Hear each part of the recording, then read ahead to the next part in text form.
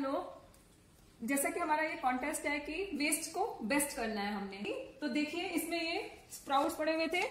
कल मैंने बनाए थे और ये कुछ उबला हुआ दलिया है जो मैंने ब्रेकफास्ट में बनाया था, लेकिन थोड़ा बच गया था। ये आम की गिटक है और ये कुछ दो पीस उबले हुए चकुंदर के हैं। तो मैं इससे आज ये चाट बनाऊँगी और मैंने इसका नाम रखा है चटकारे बाहर। अब हम इसमें चकुंदर, हरी मिर्ची और अदरक का पीस मैंने इसमें डाला है और इसको मैं पीस लूँगी। मैंने थोड़ा दरदरा ही रखा है। अब मैं इसमें ये अंकुरित मूंग को डाल के पीस अब ये इस तरह से पिस गए हैं। फिर मूंग में पहले से ही नमक मिर्च था, इसलिए हम मसाले उसी हिसाब से इसमें ऐड करेंगे। एक बड़ा चम्मच घी का डाल रही हूँ। और मैं इसमें डेढ़ बड़ा चम्मच बेसन का मैंने इसमें डाला है। डेढ़ बड़ा चम्मच मैंने बेसन का इसमें डाल दिया है और इसको धीमी आँच पे ही हम भुनेंगे।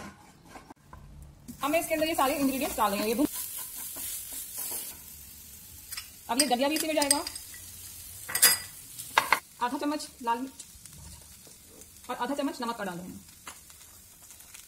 आधा चम्मच भुना हुआ जीरा है। एक छोटा चम्मच मैंने इसमें नींबू का रस डाला है। और हम और अब ये देखिए पैन को से चिपक नहीं रहा है। इसका मतलब ये तैयार हो चुका है। अब मैं गैस बंद कर दूँगी और इसे ठंडा होने के लिए रख दूँगी। एक दही की डिप बनाते हैं। ये मैंने हंकड़ रखी हुई थी। अब इसको मैं, इसमें सारे मसाले ऐड कर दूँगी। थोड़ा सा नमक, थोड़ा सा ही काला नमक। ये मेरे पास पाउडर शुगर है। ये मैं इसमें आधा चम्मच डालूँगी क्योंकि मुझे खट्टी मीठी चाट बनानी है तो मेरी दही थोड़ी मीठी होनी चाहिए। भुना हुआ जीरा। वन फोर टी मैंने लिया है ऐसे जीरा। इसको मिक्स कर देंगे। अब ये मेरी डिप जो है, ये बन के तैयार है। ये कबाब का मसाला ठंडा हो चुका है। अब हम कबाब बनाने के लिए रख देते हैं।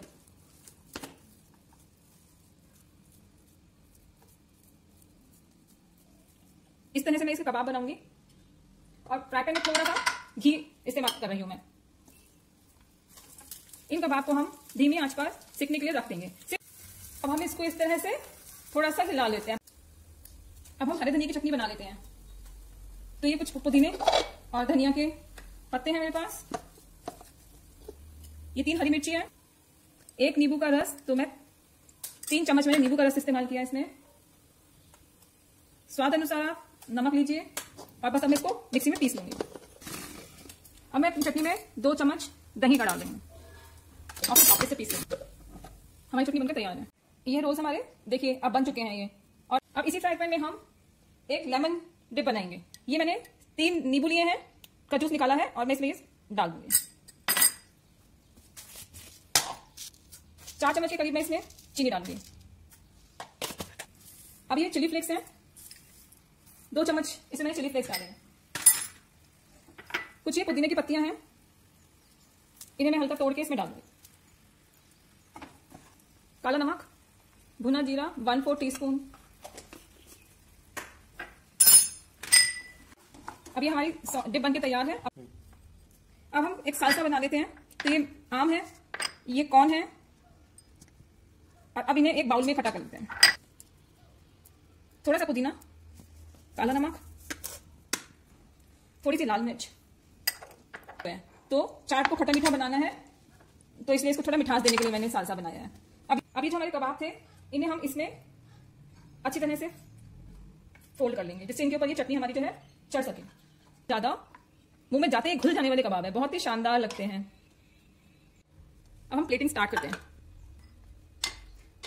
सबसे पहले हम धनिया की चटनी को अपनी प्लेट में गोल आकार देंगे।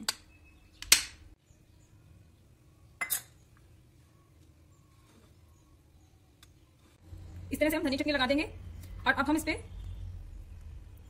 ये अपने कबाब रखते जाएँगे। इस तरह से हम अपने सारे कबाब सेट कर लेंगे। अभी हमारी दही की टिक्का है, इसे हम अपने कबाब के ऊपर रखेंगे। थोड़े से हमारे चिली फ्लेक्स के। कुछ ही हमारे पास, धनिया के पत्ते हैं। इनके ऊपर।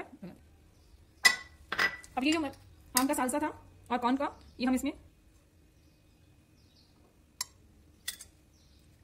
तो ये हमारी खट्टी मीठी चाट की बहार है, चटकारे बहार। जिसमें हमने वेस्ट को इतनी अच्छी तरह से बेस्ट रूप देके तैयार किया है। Thank you